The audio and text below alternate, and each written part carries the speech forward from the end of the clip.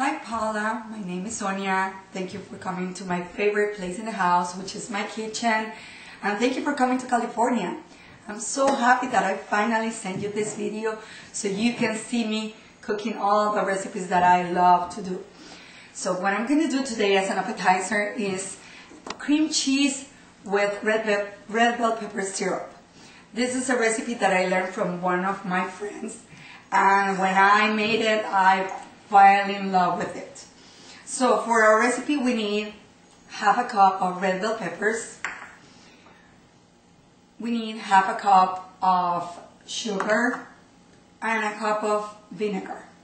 So we're going to put all this in our pot. And we're going to whisk it very well. Our stove at medium temperature. And we're going to leave it here for around 10 to 15 minutes. We're, we're going to know that it's ready when we see the consistency of a syrup. So, because we are on TV, I have some prepared for you. We're going to plate it here. And we're going to go right here. We're going to use our star ingredient, which is the Philadelphia cream cheese. If it's not Philadelphia, it won't taste the same. We're going to open it.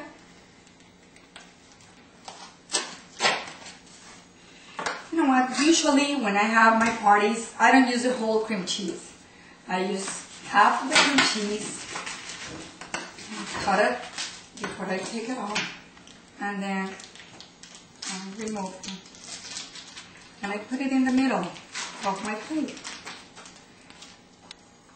And then we have here our syrup, our red bell pepper syrup, which you can see the syrup consistency Plus, the beauty about this is that it's going to show the pieces of the red bell peppers.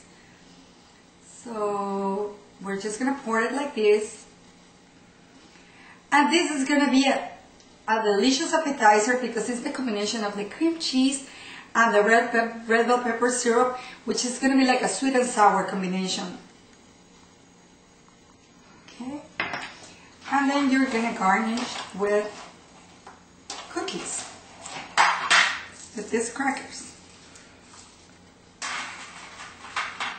If you want to give another presentation to your dish, you know Philadelphia cream cheese comes in a different presentations. And there's another presentation that I love, which is like the whipped cream cheese. And I put some here, and we're going to get one of our crackers, and we're going to just pour a little bit like this. and then we're going to top it with our syrup.